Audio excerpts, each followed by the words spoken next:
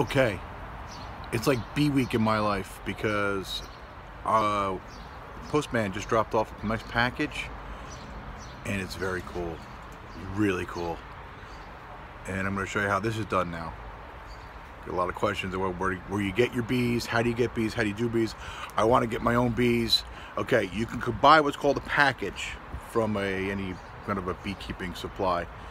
I happen to use a place called Barnyard Bees down in Georgia. They're known to have very gentle bees, very mild-mannered strains of uh, American honeybee or European honeybees. Well, let's get into this. This is very cool. I'm very excited. This is a package of bees. It's three pounds of bees. Now, I have this little lady. I don't know who, where she belongs. She might be from my hive in the backyard, but she seems to be very curious what's going on here. Inside here, I have three pounds of bees. Uh, underneath this wooden thing, I'll be taking this apart later. Got a health certificate, fragile honey with care. But when you order bees, they literally ship them to your house in a little box. They're around a metal can full of food, and the queen was in a queen cage up in here. I'm gonna take all this apart. I gotta get a, a hive ready. I want to make sure they have a nice little home to be in. So give me a couple minutes and we'll get this going. We got bees! It's uh, become bee week here without any kind of design or, ever, or effort. But here we are. Bees. Okay, so we have our little friends here all the way up from Georgia. And I've taken the packaging off, kept the uh, seal. Okay, I've removed this. This is going to be the hardest part of the whole operation is actually this can is full of sugar water to feed the girls while they're in transportation. This is attached to what's called the queen cage, where the highness, her highness is living right now. This is going to be the hardest part is getting this out. It's not going to be too hard, it's just a little tricky.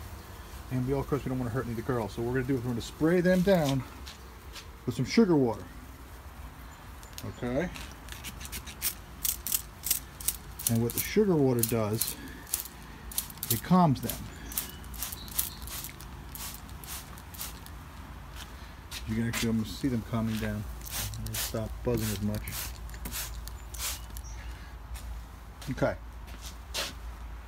So now they're like, hey, a little sticky, but this tastes good. So they're cleaning themselves, cleaning each other off. Oh, got a, snoop, got a nosy neighbor from next door coming in, just flew in. You could smell them. All right, so now we're going to work a little bit more on getting this out. And uh, uh, taking out the wooden plug. And there's the candy inside there you can see. Now they're going to start eating from the inside. And my girls will start eating from the outside to release her.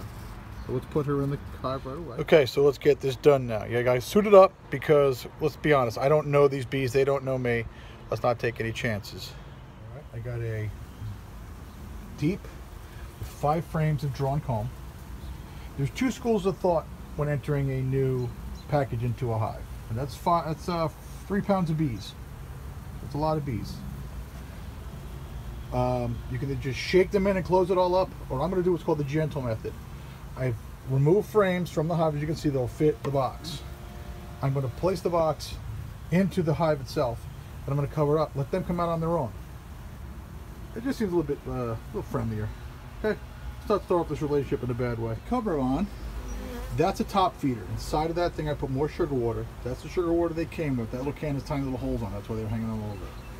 They can crawl up from the inside of the hive into this feeder, actually underneath it, and actually walk around here. I'm going to give them another box for privacy for food. They ain't got to leave right away until they get oriented where they are. I'll add the cover.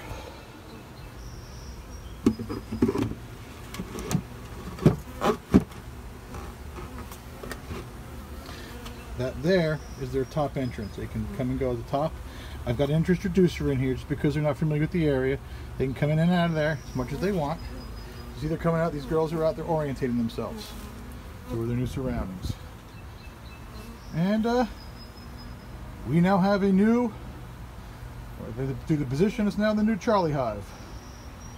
Thanks for watching. We're starting to look like an apiary again. Uh, some of you are wondering where yesterday's hive is. Yesterday's hive, okay, how this works is they were new swarm. See all the girls flying around. They're just getting, getting new city area. They are quite. Honeybees are naturally curious, so don't don't swat at them ever. That's what sets them off. They become defensive, and that's where people get stung. Most of the time, they just want to know who you are. Back to the swarm yesterday. That was a native. We're thinking it's a native, which means a wild bee swarm. Although very, very well tempered. But remember, that's a new queen. So we don't know if they're going to take to her right away. They may have followed her her call to come out of the hive. Doesn't mean they're necessarily going to stay with her. So my cousin and I discussed the issue and we felt it was best for them to acclimate a couple miles away to accept that queen, to establish themselves. Uh, that hive will be here either tomorrow or Friday. I just want to give them time to take to their queen. Um, hope this answers a lot of people's questions. I know a lot of you ask a lot of questions, and I really like it because uh, it's become, become my passion, and I like the fact that other people find it interesting as well. Is there anything I can help you with? Don't don't be afraid to ask me about bees. I'm more than happy to talk about bees just about any time. Uh, like I said, hope you enjoyed the new video. We have a new hive. I've gone from one to three in a matter of 24 hours.